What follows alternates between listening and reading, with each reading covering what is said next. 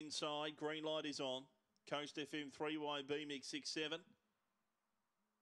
They're ready.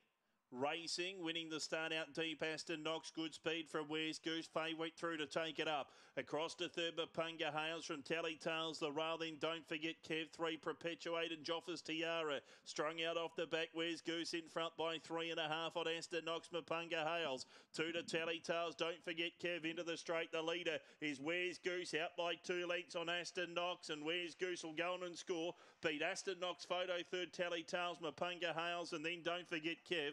A breakaway to Joffers Tiara and Perpetuate in 25 and 62. Where's Goose number one? For Phil Lanahan scores. Beats Aston Knox in second. Be a photo third. Tally Tales, Mapunga Hales. They hit the line together. 25 and 61, the winner's time. 666, 1167, home 1394. One first, Where's Goose? Mapunga Blaze Electrify, the Irish Red Syndicate, Phil Lenihan. Aston Knox in second, Aston Cometto, Aston Force, Ben Magri. And we await the judge's verdict on the minor end.